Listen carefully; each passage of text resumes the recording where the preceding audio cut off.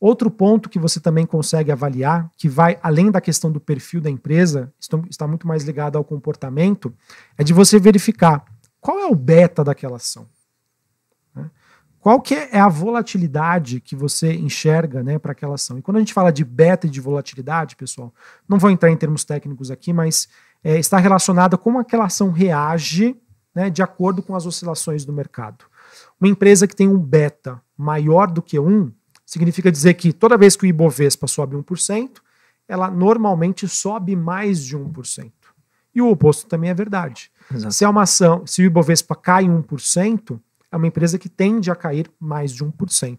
Então, olhar para essas características para montar a sua carteira de investimentos né, e saber que, poxa, eu estou colocando uma empresa do setor elétrico, que naturalmente é um setor né, conhecido como defensivo.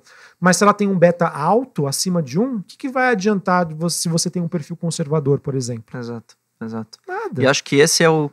Talvez seja o, o maior erro. Só olhar a diversificação com base no setor. Isso. Isso é um ponto. E é válido. Pô, setores diferentes, já está diversificando. Mas qual que são os outros? Ciclo da empresa. Aí, é, se a gente quiser citar para o pessoal, então puta, é, setor, qual é setor que está a empresa? Diversifique entre setores. Estágio da empresa, value ou growth? Colocar essas duas caixinhas, Perfeito. talvez seja mais interessante.